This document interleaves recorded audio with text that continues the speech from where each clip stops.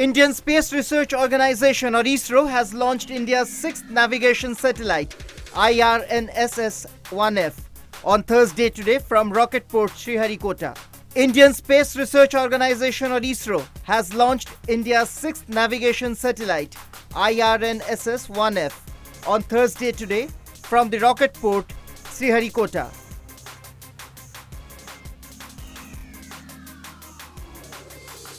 The satellite IRNSS-1F aims at providing accurate navigation on par with the US-based Global Positioning System. So far, ISRO had launched five navigation satellites under the Indian Regional Navigation Satellite System or IRNSS to provide independent regional navigation satellite system on par with GPS. New Street Desk.